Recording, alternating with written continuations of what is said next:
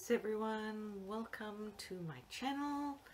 Today we are just going to take it easy and sip and chat a little bit. We are going to review all the teas we have gotten over the course of the month from all the subscription boxes and I will give you my high points, low points, what I would order again, what I wouldn't order again and just have a general sip and chat. Um, at the moment here in Canada we've had pretty bad floods so there are a lot of things delayed and a lot of people have suffered. Luckily where we are it's not so bad other than shipment delays so we can be thankful for that. And I have my iPad over here with all my teas that I have on a special app that I have over here by Airtable. So all the teas are here with all their star reviews and what I thought, my notes on them.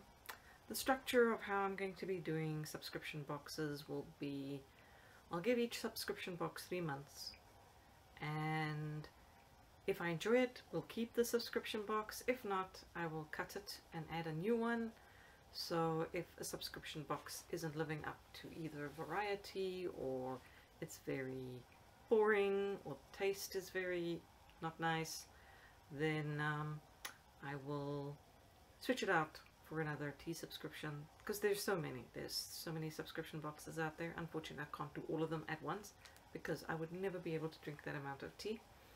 I love tea. I don't love tea that much that I would drink seven cups a day. So um, we're going to stick with round about four a month-ish. That's what I'm planning on doing. Um, David's tea only comes every three months, so that one is going to be the odd one out, and I love David's tea, so for the most part, that one will probably never leave my list of tea subscription boxes. Hey Jinx, and we are going to start with, this is the winner of the month. It is a David's tea. It is Merry Mistletoe. It's a beautiful red, gorgeous color. Reminds me a lot of a sort of cross between mulled wine and sleigh ride, which is also a very popular tea that I keep in stock all the time. And this one won out by a bigger margin, some of the others, but um, it did win. So, Merry Mistletoe for the win. Then some of the others that were really good. Let me just get all their names properly so that I don't uh, bungle it all up. Um, so we've got a, a, couple from Tea Runners that actually um, scored very high. Um, Blood Orange Rooibos was pretty good. The Fruit Aroma Black I really enjoyed and that was it for tea runners David's tea had the Merry Mistletoe and the other one I liked was the chocolate chili chai. That was pretty good. Um, Amoda, Amoda Awaken the Muse that was the winner and I actually ordered more over Black Friday so yum. And Tea Sparrow just was sort of mid mid-range. I can't say much. You know it was just middle of the road kind of tea. And um, the dollar tea was sort of on the low end. I was I was actually not very impressed with um, the dollar tea. So actually the worst tea for the subscription boxes this month was um, from the dollar tea and that was the pumpkin spice black tea. It was it was pretty hideous, I, I won't lie. It's the first time I've ever drunk a tea and then felt like throwing it away right away. It was that bad. And I'm not one to, to throw a tea away. I, I will try and sweeten it or add milk or something to make it palatable and I will finish it because I don't believe in wasting tea or anything for that matter. But um, that was the worst tea I have I have ever drunk, I think, in my life. So, and I drink a lot of tea. I grew up drinking tea, so that was that was a pretty pretty bad tea. I, I won't lie. So for me, Dollar Tea is is on the chopping block, kind of. It's it would be the first one I would cut based on on November's subscription boxes. Although I've gotten the December one already, sitting over here waiting to be unboxed. Um, so we'll see if they can redeem themselves with their their December box. But for now, it's the lowest on my subscription box list. So starting at the top, we would go David's Tea. Mm. David's Tea is mm. out of all the subscription boxes for November, it was definitely David's Tea that um, won out, even with the, the mm. top tea. Then we've got um, it's okay. It's okay. It's not a burglar, I promise. And um, second up was uh, Tea Runners. Tea Runners was definitely up there. I I have had two boxes. One was in October and in November. They came within a week of each other, so I've pretty much had eight teas from them this month. So the, it's sort of unfair in a way. But um, so far they've, they've been pretty good overall. Um, this month I'm getting just the herbal box um, whereas the previous one was the mixed box with green tea, black tea and herbal tea. So um, it was a good mix. I got to I got to try a lot of things and I, I enjoyed the one black tea a lot. So I'm glad I got to try that. Um, just a bit tired of green tea at the moment, so so that's why I've changed it over to the herbal tea box.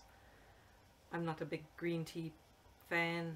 I, I find it a bit um, bitter even though I brew it at the right, it, it's just, I think it's an acquired taste and I have not acquired the taste just yet. Um, let me think. I think there were some oolongs in there too that were pretty good. Um, strange enough, the, the blueberry rooibos that I really thought I would like, I didn't like. Um, the blood orange one was pretty good though, so there were a couple of oolongs they were okay. Um, Amoda was sort of a mix of good and bad. So their hojicha, which is like a roasted green tea. Not not my cup of tea, really. To to pardon the pun, it was just it tasted like seaweed. You know, like that um, nori stuff. So I did not enjoy that at all like I said, green tea is not, not really my favorite tea to drink. And this as well was roasted green tea, so it was it was just something I was like, mm, no.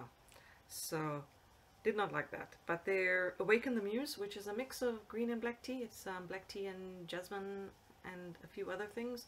That was really delicious. Um, so I ordered more, as I said, but it was it was that good that I actually ordered more. So um, looking forward to trying some more of their teas and seeing what else they have. The rest of them were middle of the road. Their orange ginger boost and the relaxing one. Um, pretty good. Nothing, nothing phenomenal, but it, was a, a, nice drink. There was a lot of tea, so um, even the middle of the road one sort of I don't get don't don't get mentioned that much because there were that many good ones as well as quite a couple that we're, we're not. Um, but they're all decent teas, and um, if you like those kind of flavors, I would I would recommend them. Um, I'm getting their holiday tea mix that I got for the Black Friday sale, and their December box already came, so we, we're going to be unboxing that as well shortly. Still waiting on Tea Runners and Tea Sparrow. Tea Runners only ships on the 9th, and Tea Sparrow is more mid-month, so those will will come later, if they come at all, with all the shipping delays at the moment. Hopefully now that the rain has stopped for a few days, the, um, the, the flooding will recede a little bit and the roads will open. Well, some of them, because um, our main highway that runs from BC to, well not even BC, this, this area of BC, the, the Vancouver area, um, over the mountains, um, and into the interior, the Coquihalla. Um, that one got pretty badly damaged in multiple places, as in there's there's no road anymore. It got washed away. It's gone.